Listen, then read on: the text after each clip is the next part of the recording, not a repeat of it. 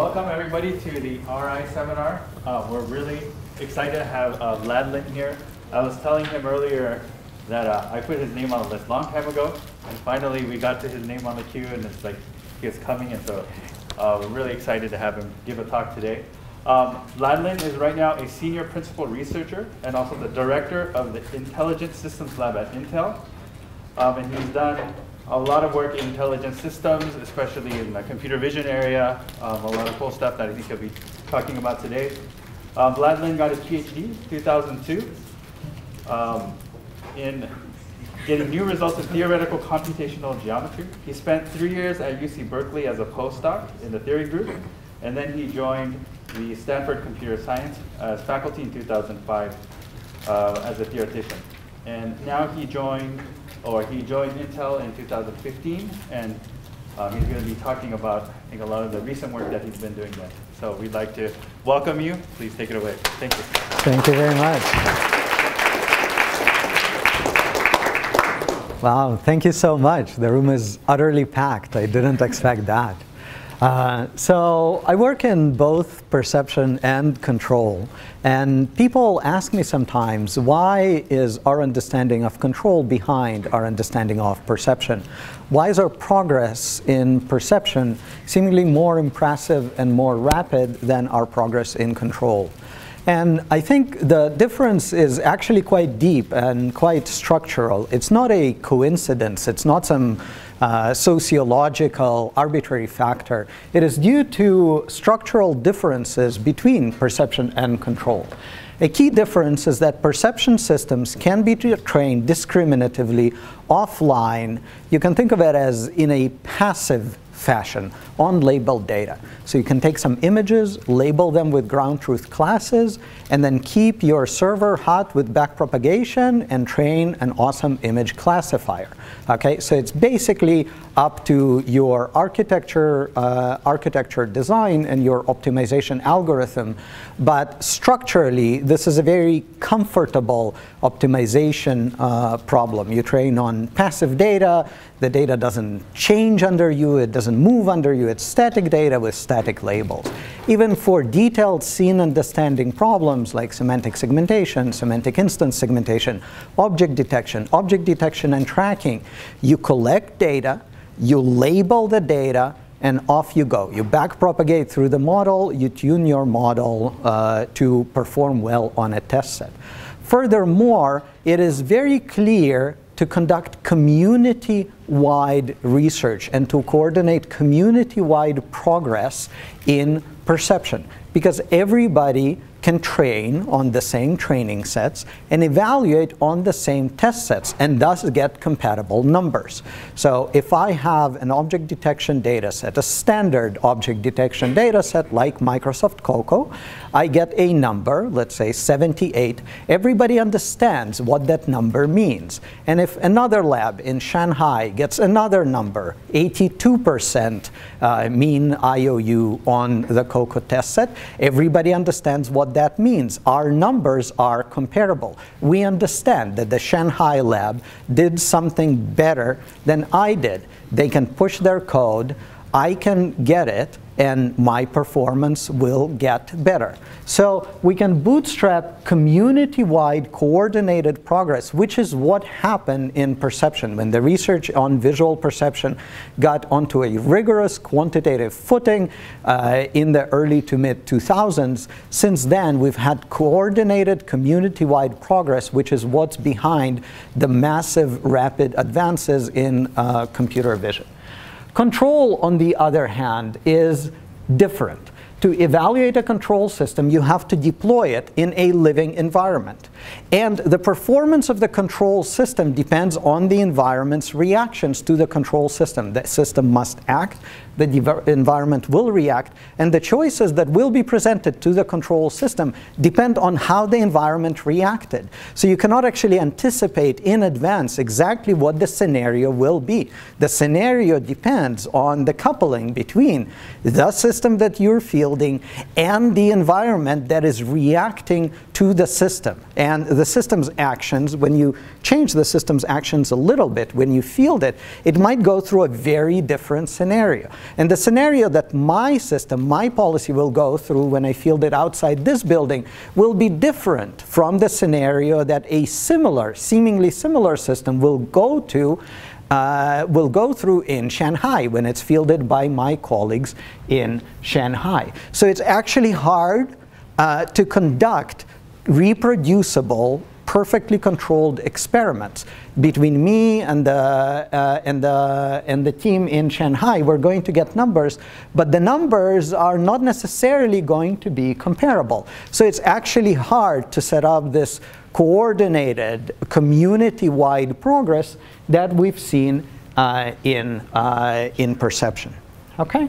So uh, I think this is behind uh, some of the difficulties we're seeing in areas like autonomous driving. And this and other uh, factors are behind statements by Amnon Shashua, for example, the CEO of Mobileye, that the driving policy, that is actually driving the car, is the hard problem in driving. I guess in retrospect, it shouldn't be surprising that actually driving the car is the hard problem in driving, but that is not what people used to be saying. People used to be saying, well, you know, perceiving the scene is the hard problem, driving is the easy part. But I think uh, people are now realizing that actually driving the, the car is the heart of the problem and is pretty hard.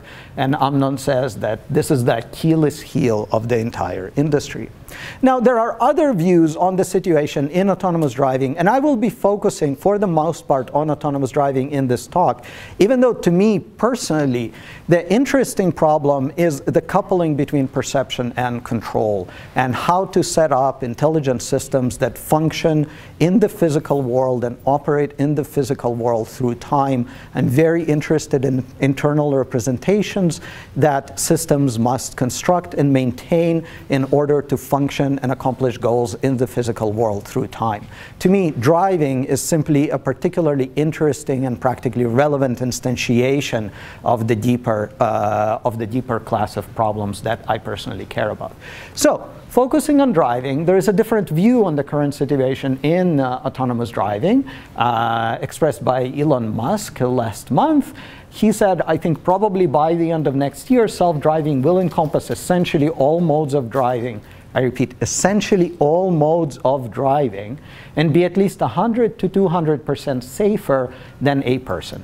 By the end of next year, we're talking maybe 18 months from now. Now, I can quite comfortably say that Mr. Musk is wrong. Uh, he is a smart person. Uh, I respect him, but smart people can also be wrong on specific issues, and I think this is one of those cases. To illustrate, let me show a mode of driving uh, that is clearly, by definition, is including in, included in all modes of driving. Okay, so here is a mode of driving that will be familiar to many of you, uh, many of you who have traveled, uh, uh, who have traveled the world. Now, by the way, this is not the world's worst intersection. This is common. You will see this. You know, if you go to India and other countries, you will see that this is quite common. Moreover, what's particularly interesting, these are not the world's driving champions. These are regular people, just like you and I. And you would be fine if placed in this situation. You would go through this. This would not be the most stress-free day of your life, but you'd be fine, okay? But uh, look, look, at, look at this guy. He's going to attempt a U-turn right here. Uh, okay? And what's amazing is that everybody just adapts. He's going to go through just fine. Um, and again, you'd be fine too. Now, needless to say, we have nothing on the market that can do this. There is no driving policy that any company has that can, that can survive this, that can robustly go through this situation as reliably as a human um, you know, not, not to mention 100 to 200% uh, better than a, than a human. We're just, we're just not there, okay? Now, I'm going to advocate simulation uh, as a tool or a set of tools that can help us get there. Uh, we need to be cautious in using uh, simulation judiciously and not getting overly enamored with simulation. There are dangers in using simulation, and I will talk about those too. But first, let me talk about the advantages of simulation. To me, the key advantages of simulation are in bridging the structural gap between perception and control. Okay?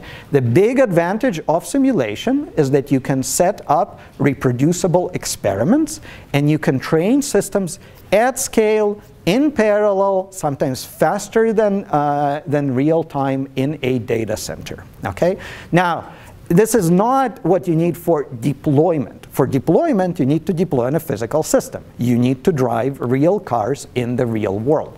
But in order to do that, you need to uh, experiment on a, on, experiment on a large scale. The thing is that we are still asking basic questions. We're still asking fundamental questions about the representation, about the architectures, the coupling of perception and control. Are we going to have end-to-end tuned systems? What is the role of modularity? What is the role of structure? What is the role of deep learning? Uh, we're still experimenting in a very broad design space.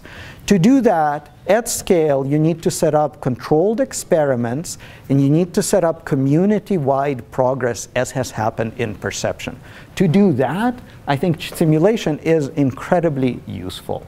Furthermore, simulation can let us focus on the challenging cases in autonomous driving, for example, the rare challenging scenarios that would be hard or dangerous to stage in the physical world. So you can have a child running onto the road from behind a parked car 30 meters ahead of your car when you're driving 30 meters per second.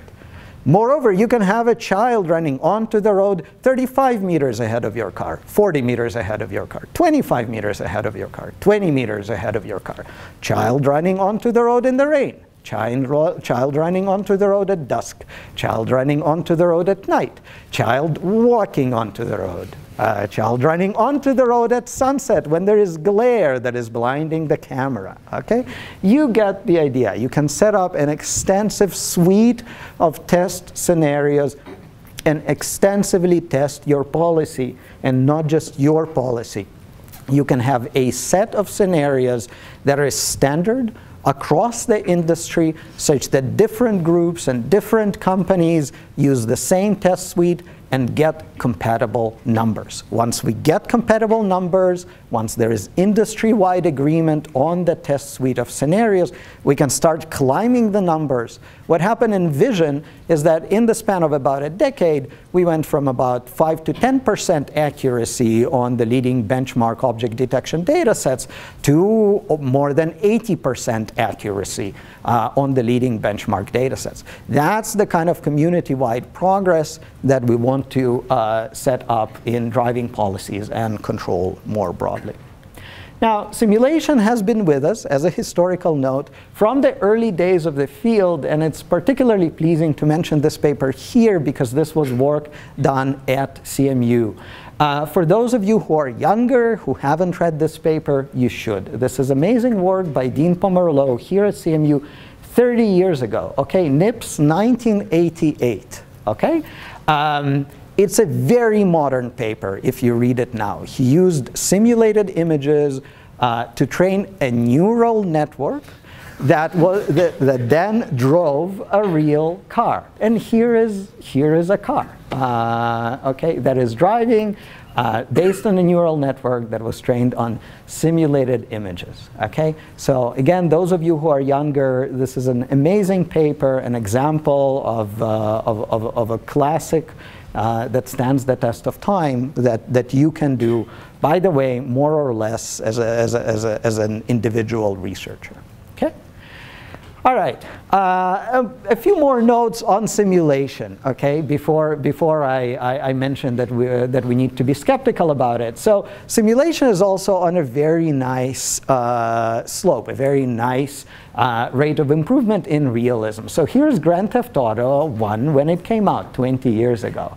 How cute. Uh, two years later, Grand Theft Auto 2 some years, two years later, Grand Theft Auto 3, we went, we went 3D. Uh, some years after that, Grand Theft Auto 4. five years after that, and five years ago, Grand Theft Auto 5. Now, you might not see that because of the lighting and the projector, but it's, this is really good. Uh, and that was five years ago, okay?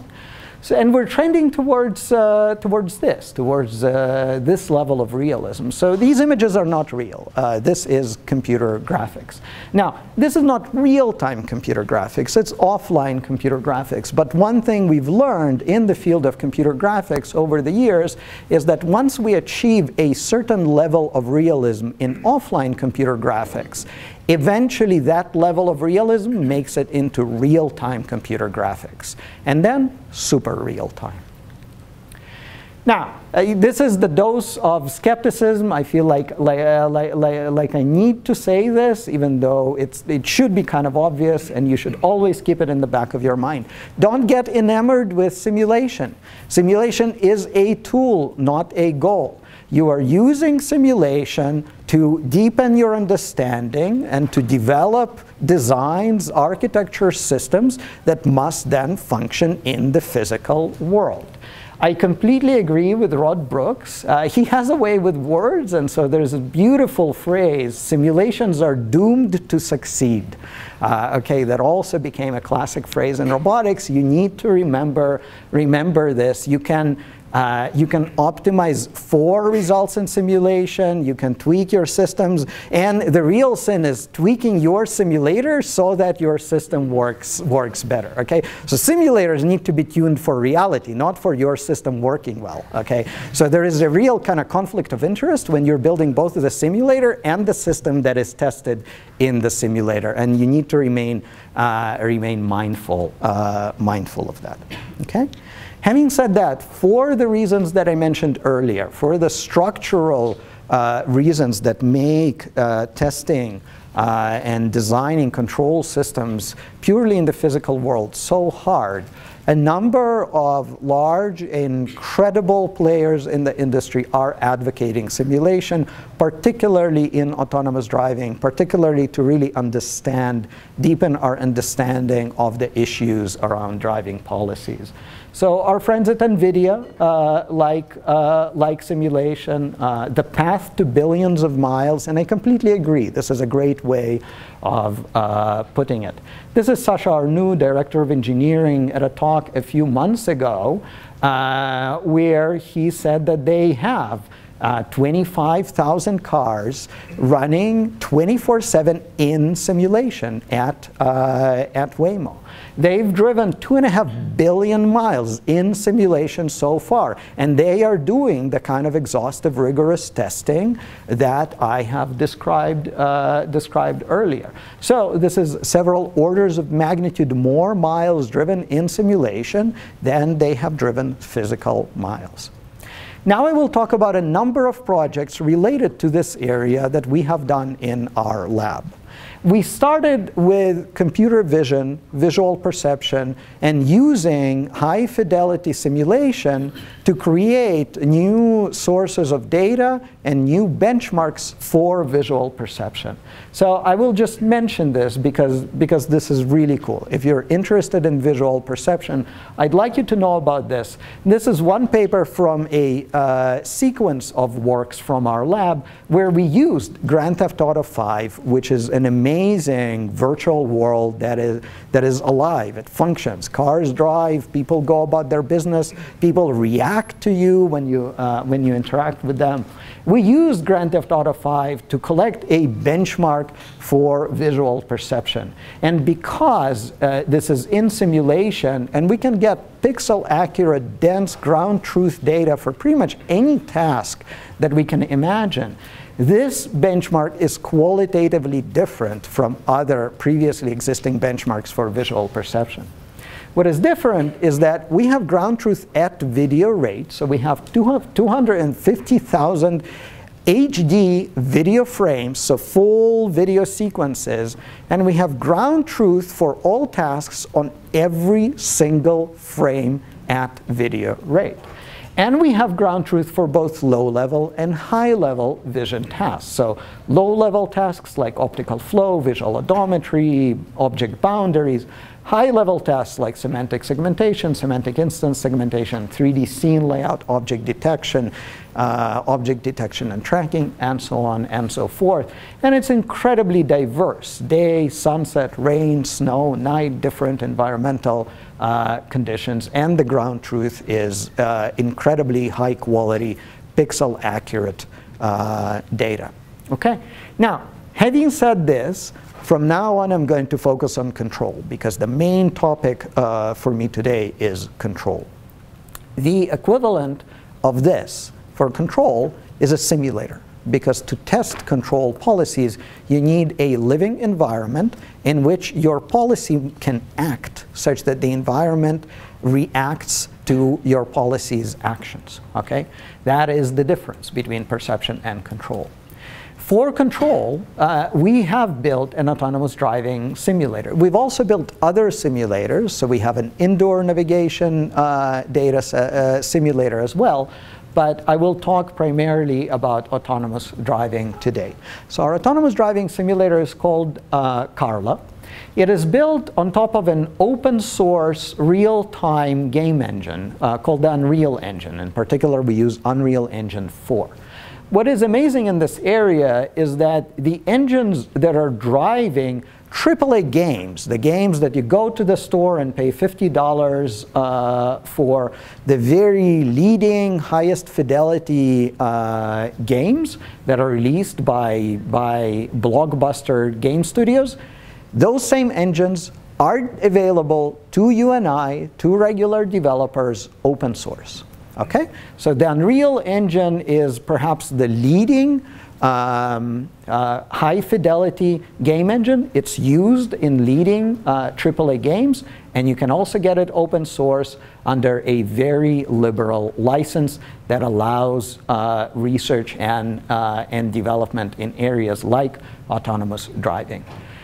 We created uh, custom assets, whole urban layouts, vehicles, street signs, vegetations, uh, uh, human models, and so forth. And we open source those. So they are available for free to the community. So without fear, you can do research on top of Carla. You can uh, develop something, redistribute it. The license uh, terms are uh, very liberal. And here, uh, everything is under your control. You can set up different sensors, plug in different sensor models.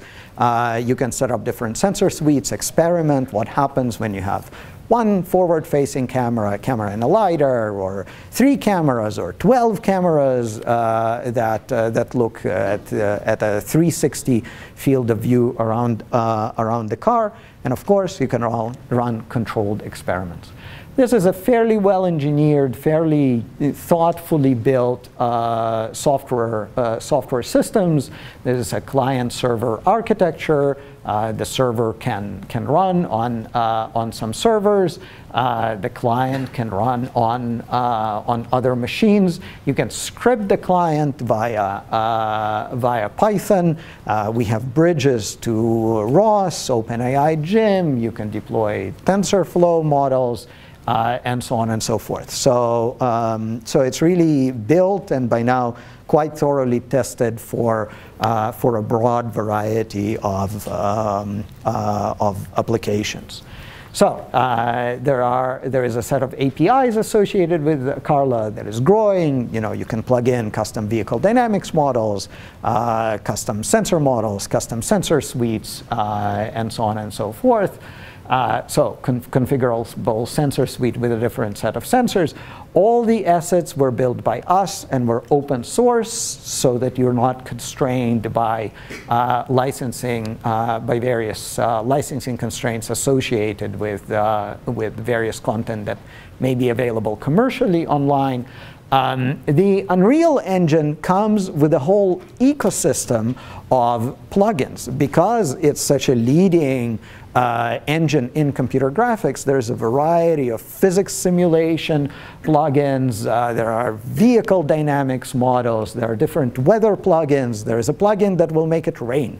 There will there's a plugin that will make it rain and will create realistic puddles on, uh, on the roads, which, uh, which you will see.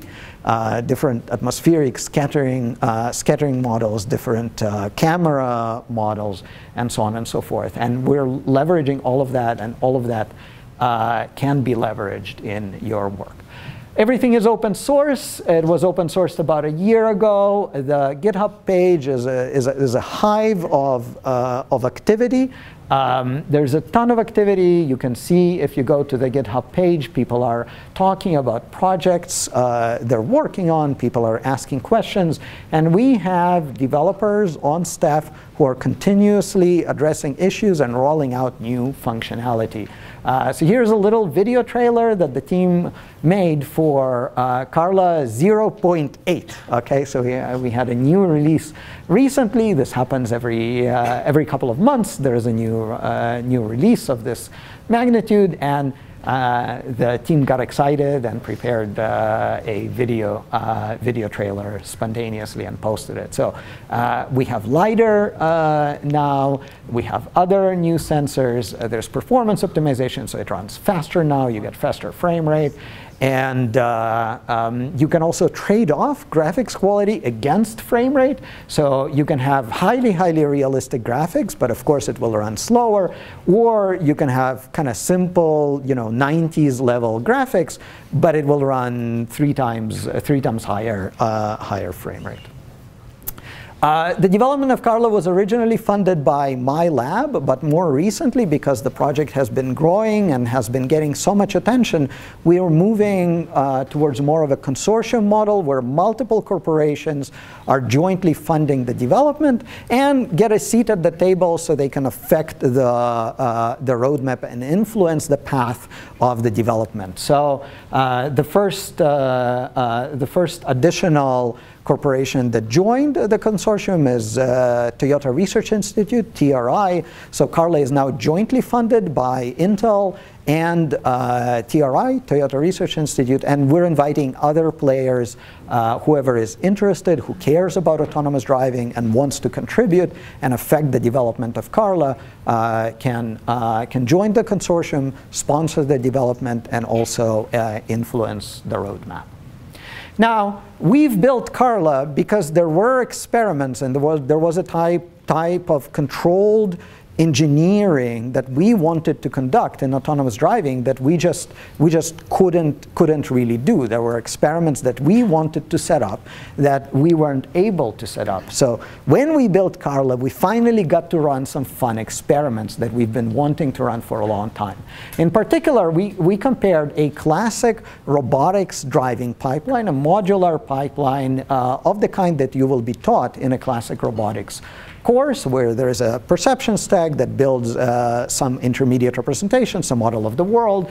There's a planner that, uh, that lays out waypoints uh, based on that model. And then there is a low-level PID controller that actuates the vehicle towards those, uh, those waypoints. Then there is an imitation learning, a deep network trained by imitation learning. I'll say a few more words on the kind of imitation learning that we use.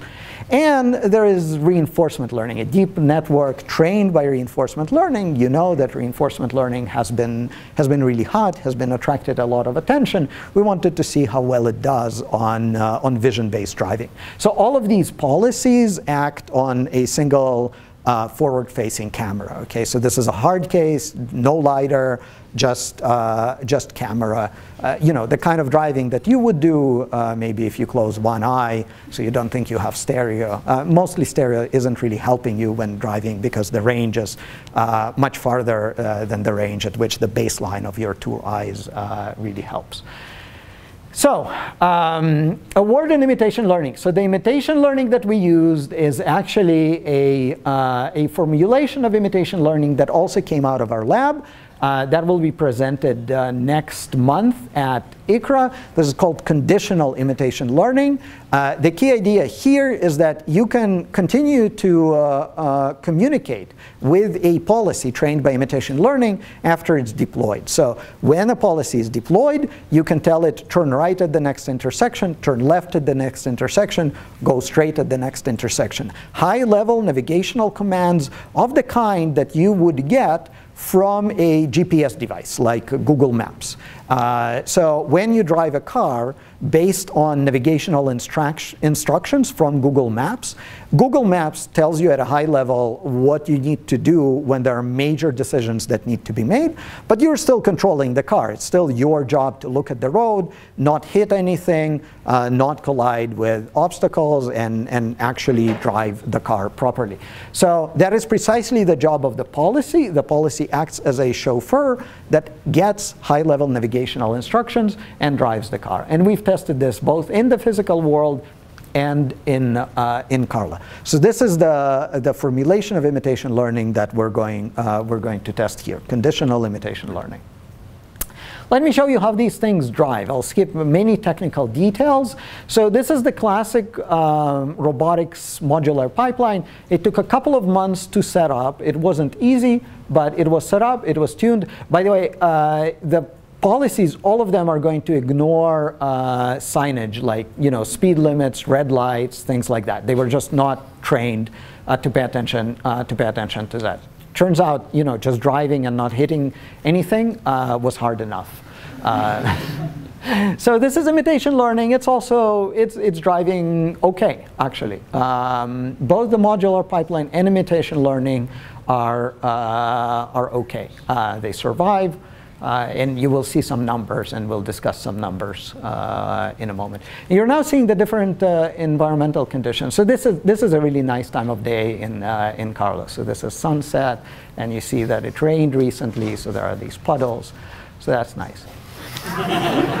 yeah. So this was an earnest attempt uh, to get the best results possible from imitation learning on, on uh, from reinforcement learning on autonomous driving. This was done by a competent, experienced, motivated researcher who has gotten state-of-the-art results with reinforcement learning before. Okay, so this was not. Uh, yes. Yes, yes, uh, yes. So here are some numbers. Um, okay, there are four conditions. One is uh, you train in the same town and weather condition that you, uh, that you test on. But there's actually some generalization because you never go through exactly the same scenarios. The particular scenarios at test time and training time are actually uh, different, but the environment is the same. And then the rightmost uh, uh, block is everything is different. You're deployed in a new town, and the weather is a kind of weather you, that you haven't even experienced during training. Okay, so there are a couple of interesting slices through this data. One interesting slice is the first row.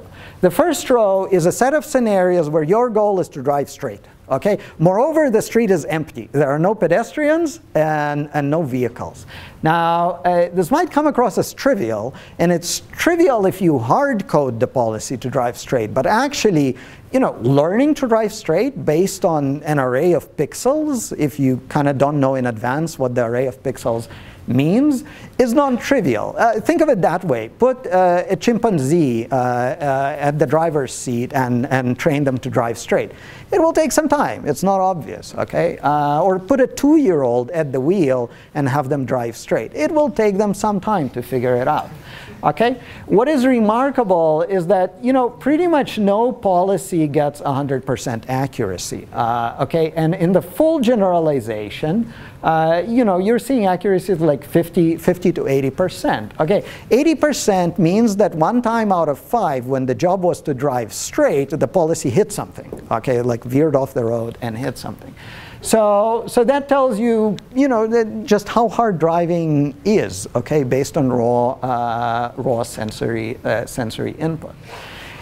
The other interesting slice is the reinforcement learning column. Okay, so in the simplest scenarios where the, uh, the road is empty, there are no other cars or, um, or, uh, or pedestrians, you know, it gets non-trivial results, sometimes passable, driving straight, it, ev it eventually gets. But for complex scenarios, the, the two bottom lines, particularly the bottommost line is the kind of scenario that you saw in the videos where the car needs to traverse a non-trivial route with multiple turns and there are other cars and pedestrians on the road. In that set of scenarios, uh, the RL results are basically uh, trivial. It's just complete failure. Um, okay? Um, so you uh, need to take uh, the current hype around uh, RL with a healthy dose of uh, skepticism. Um, I've been working in the area for, uh, for years. There are very valuable ideas in, uh, in the area, but it is very important to remember that we're not there yet. Uh, DeepRL is not some kind of magical panacea that solved, uh, solved AI and robotics. Most results in RL are obtained in simulation with dramatically simplified assumptions, and they don't uh, map over to full-scale, complex, real-world tasks like autonomous uh, driving. I like Carla because Carla can really highlight uh, these issues and, and put that into fairly sharp uh, relief. There are a couple of lovely papers that I strongly recommend to anybody who's interested in uh, RL and, uh, and related problems. Uh, these papers uh, put the current state of the art in reinforcement learning in context and pour some much needed cold water on the hype. I think in the long term, uh, RL and related techniques are interesting and valuable. Um, I personally miss the days when there were a few of us working on, on, on RL and it was like a quiet esoteric topic and we felt like we're still getting a hang of the basics. Now we're still getting a hang of the basics, but, but people are saying that we solved AI and RL is this huge, huge thing, and, and, and every paper gets, uh, gets a story in Wired uh, when it's posted on arXiv. Uh, I think that's a little bit uh, excessive.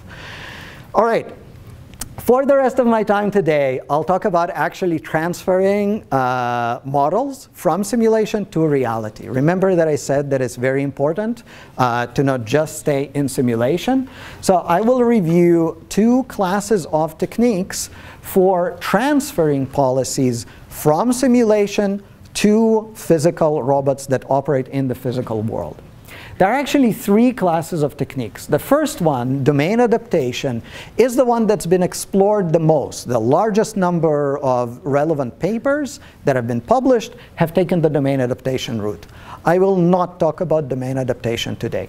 I want to focus on two other sets of techniques that uh, have gotten less exposure, uh, are a bit less known, but uh, I really, really like them. Okay? The first is domain randomization, and the second is a recent approach uh, that we, uh, we have taken in a recent paper uh, that, I want to, uh, that I want to show you. Let's start with domain randomization. Okay?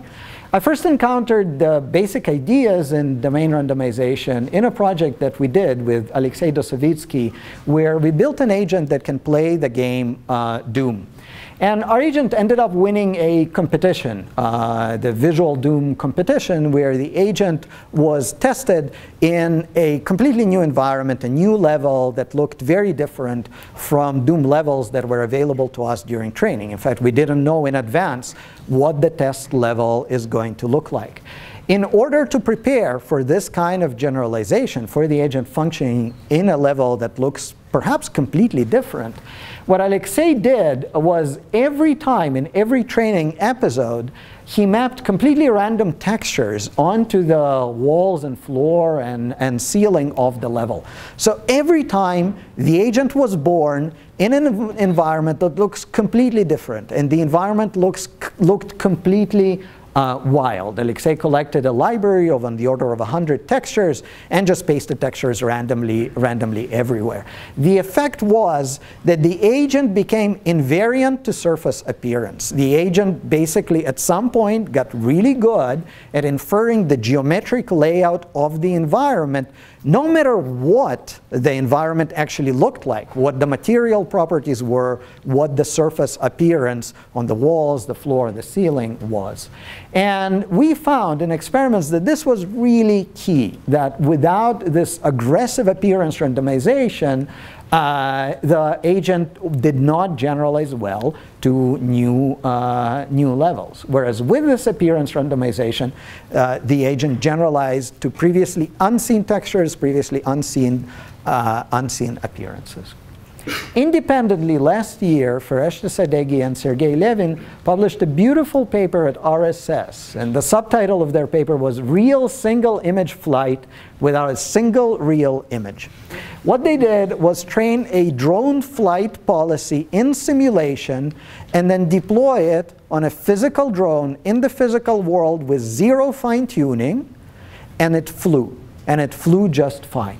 Okay? Now, when you're faced with a problem like that, your first intuition would be that I'm going to make my simulation as realistic as possible. I'm going to try to plug in, you know, physics-based lighting and physics-based reflectance functions, and I'm going to scan real-world environments. They did none of that. What they did was train the, uh, the agent in wildly different, wacky, crazy environments. Okay, uh, the layout of the environments was was reasonably realistic, but the surface appearance they didn't go for realism. They went for crazy. Okay, so that every time the agent is born in a, a in a wacky-looking environment, and every environment is different. Okay, the effect is that when the agent is deployed in reality, reality just looks like another crazy simulation. Okay? Uh, so reality is a point in the space mapped out by the dimensions of variability that they vary here in simulation. So if they vary the lighting and uh, the material appearance and the reflectance, and they vary it all crazily, maybe they don't need to know in advance what uh, the material appearance in reality is going to be. They just need to make uh, the controller invariant to the sources of variability, to the nuisance factors that, uh, that are then going to be encountered in reality. This is a very powerful idea because instead of needing to know in advance exactly how to model reality, you just need to model broadly the nuisance factors, what changes from simulation to reality. Okay, well, Lighting is going to change, material properties are going to change, the detailed layout of the objects is going to change. Then you vary all those crazily and make the controller invariant to these factors. When it's invariant to these factors, it should do just fine in, uh, in reality without you knowing in advance what the values of these factors are going to be. The idea caught on and uh, it's been tested successfully a number of times in manual manipulation. So this is an image from a paper I really like uh, from Andy Davison's lab at Imperial College London. They trained uh, a policy in which uh, a robot arm finds a cube, picks up the cube, lifts it, and drops it into a box. Okay? And again, they just completely relinquished realism. Okay, they went with these psychedelic, Perlin noise, textures. None of these environments individually looks realistic. In fact, they all look cartoony and computer graphicsy.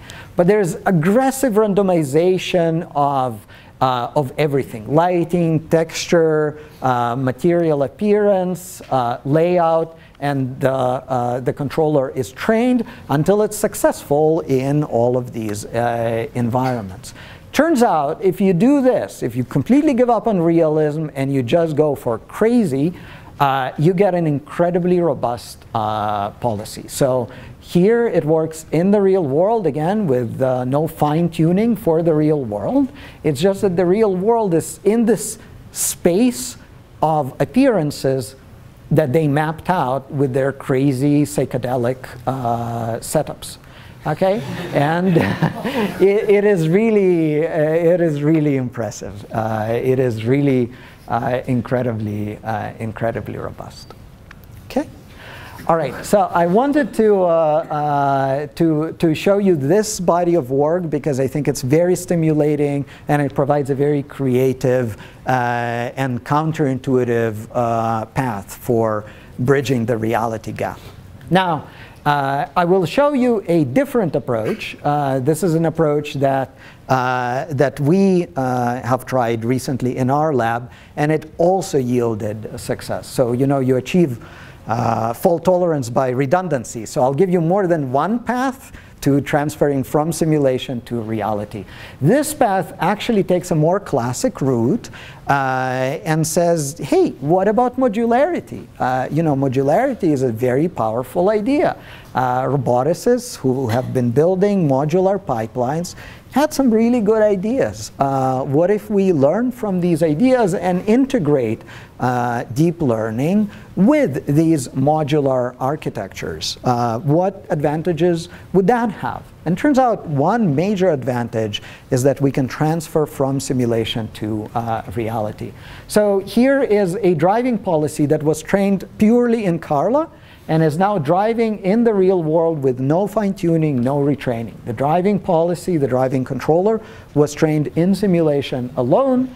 Uh, moreover, I don't think it ever saw snow in simulation when the driving policy was trained, but it's driving in the snowy streets of Munich uh, in, uh, in the winter just, uh, just fine. This is a 20% scale uh, truck that we've rigged up for, uh, for this sequence of, uh, uh, of, of papers. Now, the key idea is to encapsulate the policy so it doesn't touch the raw pixels and it doesn't touch the raw low-level actuation of the vehicle. Okay? So, there is a perception module that ingests the raw image and produces a segmentation map. It's a binary drivable area uh, segmentation map. The policy acts on this segmentation map. Okay? Now, all we need now is for the perception module to work in both the real world and, uh, and simulation the representation produced by the perception module abstracts away the difference between simulation and reality so that the driving policy can just be trained based on the output of the perception uh, of the perception module and it can be ju uh, just trained in simulation. Now, the perception module was trained on a real world data set, uh, the cityscapes data set. And you might object, you might say, wait, you needed real data. But we needed real data in the different mode, in the perception mode, the mode in which we can train very comfortably in discriminative fashion with supervised training. It is the perception training mode that we understand very well, that can be trained passively, offline, in a data center, training perception networks on supervised ground truth is what we're really, really good at. That is not the bottleneck for us.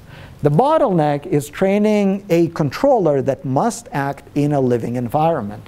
But that is precisely the part now that we have a perception module, that is the part that can be trained purely in, uh, in simulation. So we have a perception module trained on cityscapes. It produces segmentations. It can run in the real world on real data. It can run in Carla on simulated data. It gives you segmentation maps. The segmentation maps are quite poor. Uh, they're very noisy. Uh, they're really not great okay? But that is the beautiful part about learning. We train uh, a driving policy with the real segmentation maps that uh, the, the perception module is running during training and is giving us real, uh, real segmentation maps with their noise characteristics. So the driving policy learns to adapt to the imperfections, the noise characteristics of uh, the real perception system. Okay? On the other end, the low-level control is abstracted as well, so you can port, you can use the same driving policy with different vehicle dynamics models. So following classic robotics ideas, the uh, driving policy outputs waypoints, and there is a low-level PID controller that actuates the vehicle uh, towards uh, these waypoints. You can transfer the driving policy to different vehicles, with different scales, different dynamics models, and all you need is to swap the uh, low-level controller in and out. The driving policy, the bulky part, uh, can stay the same. And again, that thing can be trained in simulation, uh, can, be, uh, can be trained uh, once, and then transferred. So let's see some more, uh, some more results. So this is the, um, the view from the vehicle, from the forward-facing camera. These are images, but remember that these are not the images that the driving policy acts on. The driving policy acts on segmentation maps. Now, this truck then flew um, thousands of kilometers to Saudi Arabia, um, the desert, where the weather is completely different, was unpacked, taken out of the box, put in the road, and drove, and drove just fine. Okay, so the same truck, same policy, no retraining, uh, same training in, in Carla, drove both in the snowy streets of Munich and uh, in, uh, in, in summery conditions in the desert. Here you see the segmentation map uh, from the front-facing view. This is what the policy is driving, uh, driving based on. Okay?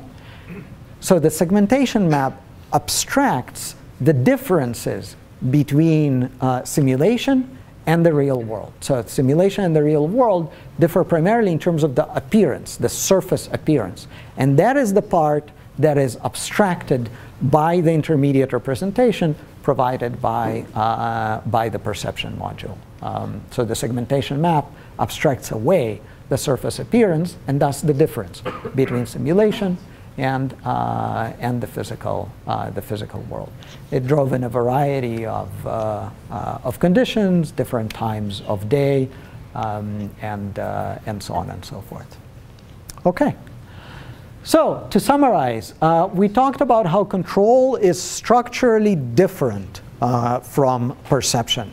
Our different rates of progress in perception and control are not a uh, coincidence. They are due to deep structural uh, differences. In particular, the ability to set up community-wide progress in perception based on controlled, repeatable experiments, standard test sets, and standard experimental protocols, standard systems, standard scenarios.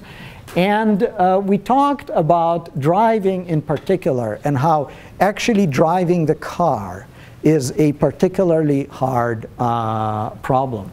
We talked about simulation and how simulation can help bridge this structural difference between perception and control and put us on a footing where, as a whole community, as a worldwide research community, we can make progress on the hard uh, problem of control and in particular driving the car. We talked about Carla as a, uh, a new open source platform that can be used as the basis for this community-wide infrastructure, and we reviewed different techniques uh, for bridging the reality gap. That is training driving policies in simulation and then deploying them in the physical world on real cars. Thank you very much.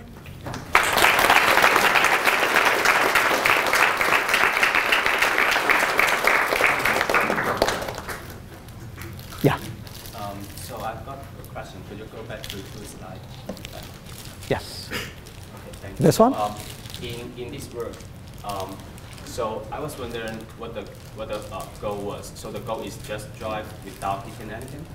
Um, uh, so it's obeying, so it's the same conditional imitation learning setup where it's given high-level navigational commands, the kinds of commands you would get from a GPS device. So when it approaches an intersection, uh, there is a high-level GPS device uh, like uh, planner that tells it go left or go right. And it needs to obey the command and not hit anything. Yes, so it needs so to stay on the drivable area, not get onto the sidewalk, not hit anything, uh, and, and obey the command. And I was wondering, so actually after you did the um, segmentation, so I guess the segmentation is just trying to um, um, distinguish the roads and other uh, stuff, right? Correct. So the problem was after you did the segmentation, do you have uh, a baseline or a manually defined uh, policy that's kind of trivial, but use the segmentation to do the same stuff? Uh, that is, can we set up a classic uh, robotic robotics planner that takes the segmentation map and maybe kind of guesses the waypoints based on the segmentation Yeah, map? correct. Uh, we did not do that in this work, but it would be very uh, challenging without learning because look at these segmentation maps.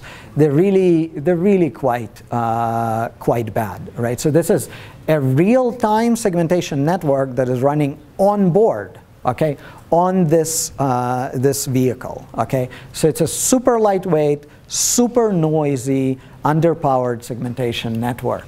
Um, it, it would be very hard to analytically uh, set up a very robust uh, driving policy based, uh, based on these segmentation maps. You're right that this is a natural baseline. It's probably something that we need to do, but if we do that, the next, the next natural question would, uh, would be, well, you know, did you do a great job? Maybe if my PhD students sat down and, and, and, and set up an analytical driving policy based on your segmentation map, uh, my PhD student would have done better. So it, it's not completely clear what a convincing baseline here would, would be.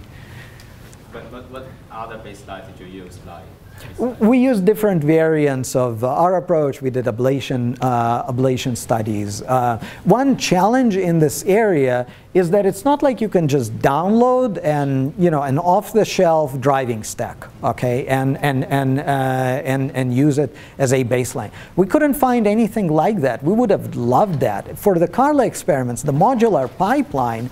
We wanted to get something off the shelf. I mean, the kinds of pipelines that Waymo and others are running now, they're not fundamentally new. Uh, structurally similar pipelines were running 10 years ago for the DARPA, for the DARPA uh, Grand Challenge and the DARPA Urban Challenge. But there's no open source code base that just says, okay, here's a Waymo-like driving pipeline. Uh, you know, uh, clone our repo, and you'll have you'll have a self self-driving system that you can use as a baseline.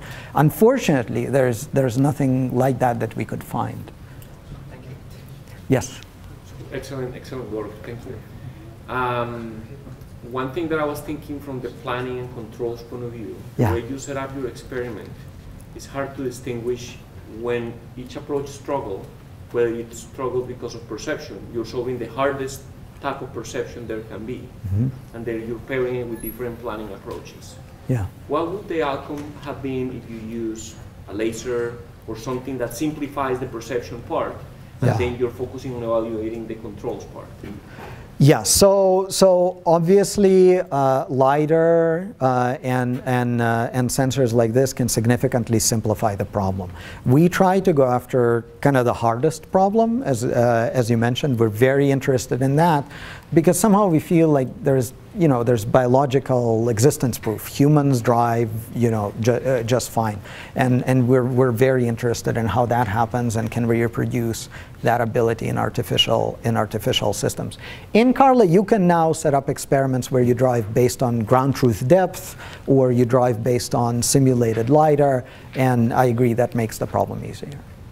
But you don't know what the result would have been in comparing the traditional pipeline, uh, imitation learning and reinforcement learning. No, uh, we didn't set that up. Those experiments are pretty, pretty labor, labor intensive. So setting up these pipelines, uh, tuning them, like tuning the modular pipeline, that took time. Yeah. Yes, Chris. So I'm somehow totally missing the message. Okay. Slide, last part of the talk. Yes. Part of my problem is I sit there and I watch this toy car runs Yes. into the gutter repeatedly in Saudi Arabia. Yes. And doesn't do a particularly good job avoiding the higher piles of snow. So I think Yes. that test is totally misleading. You know, you're, you're looking there and you're saying, is there space for a toy car? Sure, let's go to the right. If you had Yes. done this test with a real size car, you would have Yes. probably gotten completely different results. So, Yes. So that, that's problem number one. Yes. Problem number two is, you're saying, okay, I'm training one net, and then I'm using it to train another net. Yeah. Practically everybody in the business does that. We all thank God that Alex trained his net, so that we could reuse it. Okay. That's what everybody does. So Good. what exactly are you advocating? Okay, so we're still in kindergarten, okay? We're like little kids who are excited that we could train a driving policy in simulation and then field it in, in a real vehicle, and the result was not a disaster. Now, you might look at this, and this looks like a disaster to you, but that is because they didn't show you what the other policies do. Okay? The other policies don't even get, you know, to the gutter. The other policies veer off and hit the building, hit the street lamp, don't get started. When they're told to turn right, they go straight. The other policies are much worse. The non-trivial level of performance that you see uh, in this video is due to the training in simulation. So, there are a couple of points. First, if you think this level of performance is trivial, I take issue with that. I think that is wrong. If you think that level of performance is bad compared to what we need to actually drive on a commercial scale, I completely agree. We're still inter- in kindergarten. We're excited about baby steps. And the baby step we're excited about here is that we could train something in simulation, deploy it in the real world, and get a result that is non trivial. Okay? That is, that is not obvious that you can do that. Okay? That took time, and there were many skeptics. Many people were saying, well, you know, simulation is, you know, doomed because once you're in simulation, you will not be able to transfer to reality. The fact that you can do that uh, you know, that's, uh, that, that, that, that is exciting. And that's how you make progress in research. You take baby, baby steps, okay? The grasping and, you know, manipulation policies, these are also baby steps compared to what you would need to, you know, industrial scale deployment in, in warehouses and truck box unloading. These are also baby steps. Everything is in a lab. You could say, "Wow, that's that's terrible," and you haven't even seen the bloopers. Uh, okay, so yes, baby steps. yes, Chris. This is too much fun. Yes. There was something very weird about the numbers you presented when you compared ML and RL. ML, uh, Uh-huh. the, the standard robot thing got better when you put it in crappy weather. Uh, yeah, uh, so some of the weather conditions in the test set are easier uh, than uh, some of the weather conditions in uh, the training set. So there's some arbitrariness there. Essentially, it's not just generalizing to new weather that's hard. Some of the weather conditions are intrinsically harder than others. So if you have heavy fog, that is harder. What happened, we also wondered after we looked at these results, what happened. What happened is just by randomly partitioning the set of weathers, uh, some hard weathers ended up in the training set, like you know heavy fog or sunset with a wet road with glare, and uh, and the the test weathers were comparably a little bit easier in aggregate. So you see uh, you see this kind of discrepancy. So we're kind of hitting the time limit. So I'm gonna take one question from Katya and then we'll wrap up. Uh, Yeah. Ho- Hotu, uh, Vlad will still be here, so you can ask him a question afterwards, but since we kind of passed, we'll take one more question. Yes, so, so uh, do you have in the simulator, you simulate the slippage, the traction and so on? Because in Munich in snow, I mean, this is one of the, so vision is not the problem when I drive in snow. In It's snow. the, the control. Uh, yeah, the PID controller was uh, was basically tuned by hand, and the PID controller was was trained to drive uh, to drive there. Okay, because Yeah, of course, driving in a dry thing is much easier. yeah. Okay, so you hand train, you hand tune the. The low level controller. Yeah, yeah. Let's give Vladlen a hand. Thank you.